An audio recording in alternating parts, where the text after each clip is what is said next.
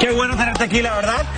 Mira, dijimos hoy en, Twitter, oye, viene Maite aquí al estudio y miren nada más todos los mensajes que te han mandado. Ame, Corazón Amelia dice, esperando desde Argentina. También la gata LT dice, ay, saludos desde Lituania. También tenemos Mira, Tati te pregunta si tienes pensado unas largas vacaciones y a dónde te gustaría ir.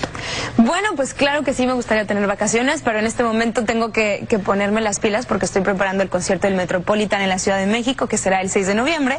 Así que no habrá mucho tiempo para el descanso, sino para seguir trabajando.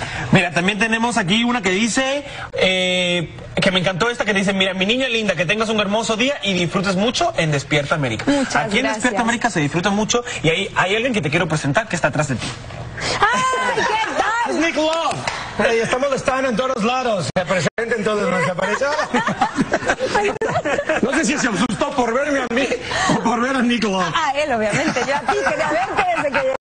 Te quiero, amiga. Es que está de metiche en todos lados. Ya, ya, Estaba viendo. ya que llegó Nick Love aquí, vamos a tomarnos una foto aquí en el Twitter Mirror. Recuerden que sigan eh, escribiendo con el hashtag MightyNDA, arroba despiértame Nick. Nick, ponte, ponte, ponte Nick. No, no, no, porque me está